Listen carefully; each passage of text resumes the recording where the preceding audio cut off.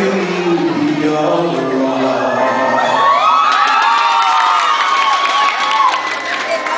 Watch us where we go.